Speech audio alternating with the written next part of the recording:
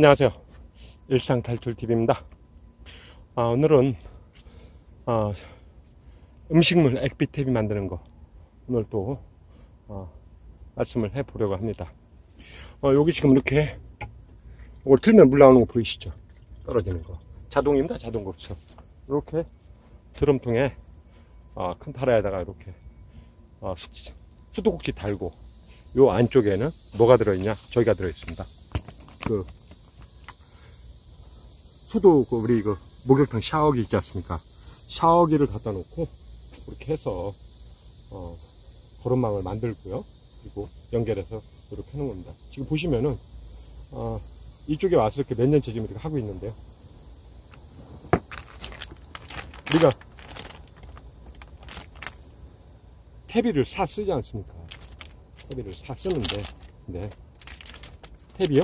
안 사서도 돼요. 그러니까 비료, 비료를 아, 지, 지난해에도 말씀을 드렸지만은 지난해에도 말씀을 드렸지만은 아, 400평 농사에 그러니까 실경작지입니다. 실경작지 400평 농사에 요소 한 포, 미량요소, 미량요소 어, 10kg 짜서 10kg짜리 사서 2년에 한 포. 복합 비료는 올해는 두 포를 샀는데요. 올해는 두 포를 샀는데 여름에 뭐 특별하게 심은 게 없어가지고 올해는 아직까지 아, 한 포, 반포 정도밖에 못 쓰고 있습니다. 반 포. 아마 내가 이번에 마늘을 좀 심을 건데요. 마늘을 시- 마늘을 심어도 아마도 올해 한 포면 아, 충분할 것 같습니다. 그럼 나머지 비료는 그거 갖고 농사가 되잖아요. 되잖아요, 지금. 여태까지 그렇게 하고 오고 있어요. 어, 요소 비료값이 좀 올라가지고, 아는 동생한테 얘기해서, 금년에, 어, 요소 두, 두 푸대, 복합 비료 두 푸대, 그리고 유박 두 푸대, 어, 샀거든요. 그래서, 유박은 아직 뭐 반포, 어, 엊그저께 처음 썼고요. 음식물 탭이 어떻게 만드냐고요? 그렇습니다. 그렇게 비료를 우선 먼저 비료를 사 쓰느니 어차피 돈 주고 사 쓰지 않습니까? 이렇게 이렇게 음식물 잔반을 갖다가 잔반을 갖다가 어, 탭비를 만드시면 돼요. 이거는 뭐냐고요? 이게 지금 양파인데 양파 껍질입니다. 양파 껍질을 식- 좀 식당 잘 되는데 중국집 같은 데 있지 않습니까? 그런 데 가셔가지고 가셔서 이걸 모아달라고 하면 돼요. 이. 그러면 그 사람들 첫 축을 내는 건데, 이거. 그러면 이렇게 말리고 나면, 한 자루 말리고 나면 요거밖에 안 돼요. 그러니까 얼마 되지 않습니다. 1kg 밖에, 안, 2kg? 될라나?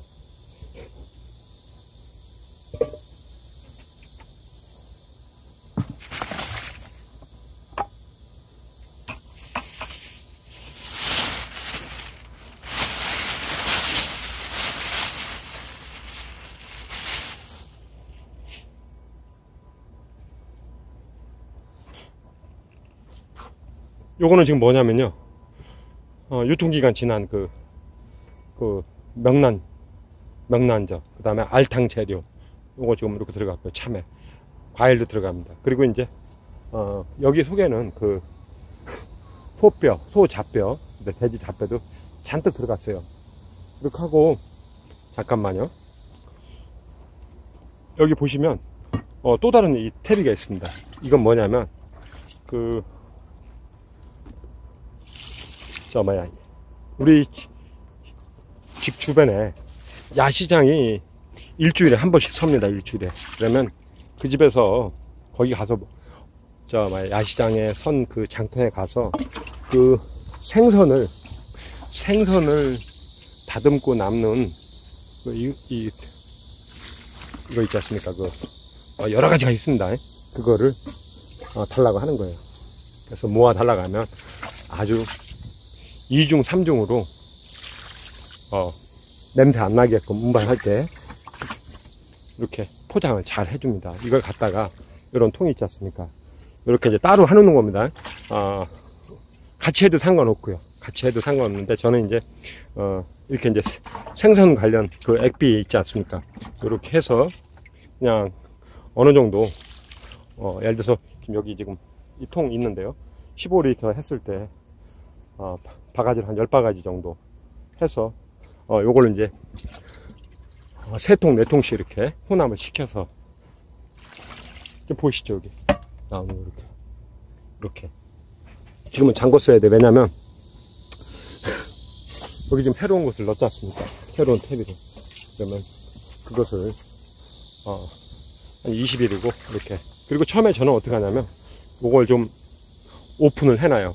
오픈을 해놓고 나서 오픈을 하는 이유는 그겁니다. 뚜껑을 이렇게 개폐를 해놓고 날려놓나 그러면 파리가 엄청나게 달려들어요. 파리가 그죠? 그럼 파리가 달려들면 알을 무지하게 깝니다. 그러면 한 일주일이면 다 이만요. 으서져 있어요. 그러면 그 상태에서 그 상태에서 딱 뚜껑을 비닐을 해가지고 덮어버려요. 파리 이제 그 알이 있잖아요. 구데기까지 다 이제 거름으로 쓰는 겁니다.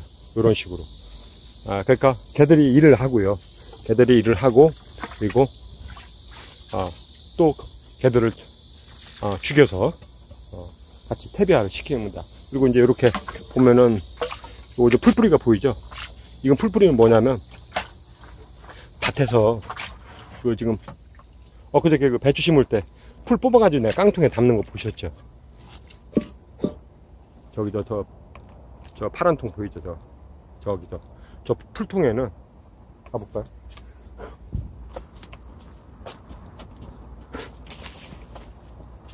이렇게.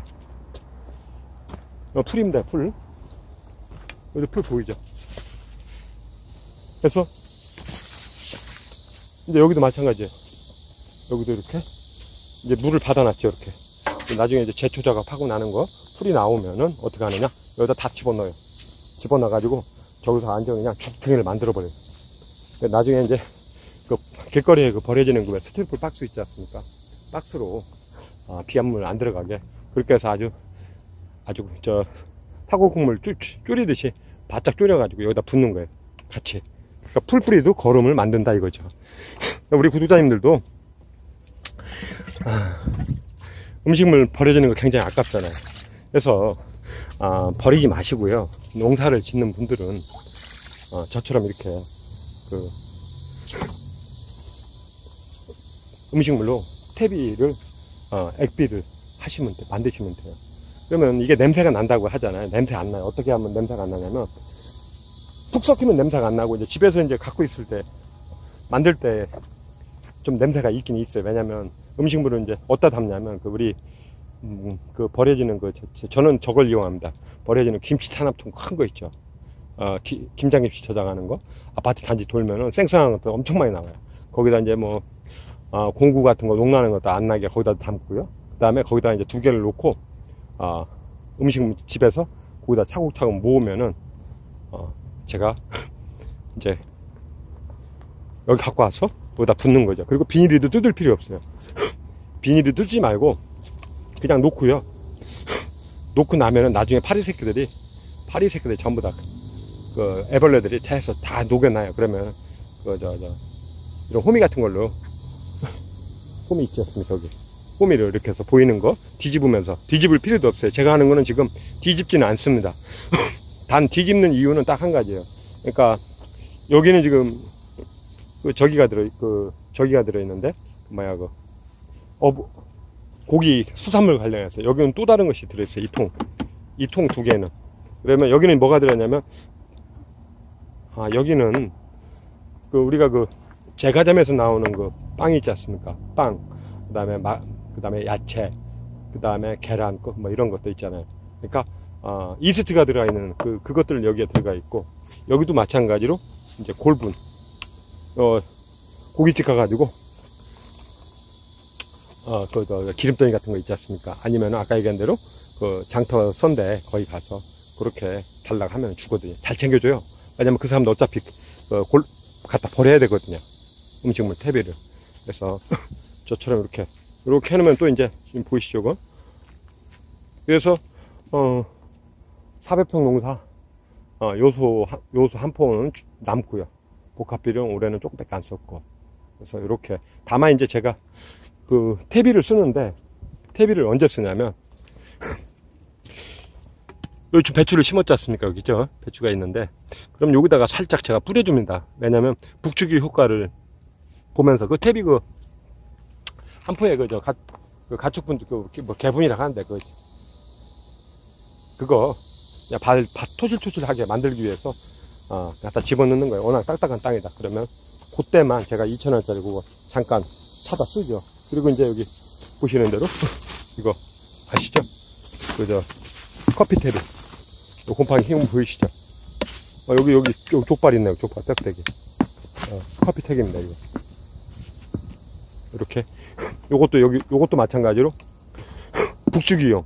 북주, 북주기용으로 쓰고, 그 다음에 이제, 어, 엽채류에 태비를 이렇게 이제 정원을, 밭을 안 가니까, 어, 신고 나서 살짝 그 도포만 중간중간에 그 도포 한 번씩 해주거든요. 그 용도로밖에 안 써요. 그러니까 제가 쓰는 태비도, 어, 2,000원짜리 그거 다섯 포도 안 씁니다. 그러니까, 모종에 웃자람이 있을 때 그런 데 살짝살짝 뿌려서 그걸 어, 없애주는 거 하고, 그 다음 아까 얘기한 대로 1차로 어, 애주중지 하는 것들은 북주기 효과로 보기 위해서 그렇게 태비도 주고 묶고 그러니까 일석이지죠. 그 용도로 사용을 합니다. 우리 구독자님들도 어, 저처럼 이렇게 하나 만들어 놓으면 이거 주고 만들어 놓은 지 아하, 한 6, 7년 됐을 겁니다. 이렇게 해가지고 어, 여름에 한여름에 뜨겁지 않습니까? 고무다라예요. 그러면 그 차광망 있죠? 차광망으로 살짝 덮어놔도 돼요. 아니면은 100개 놔도 상관없습니다 애들. 애들 저 20년 이렇게 이런 파, 파 이런 파, 파, 이런 거 이런 거.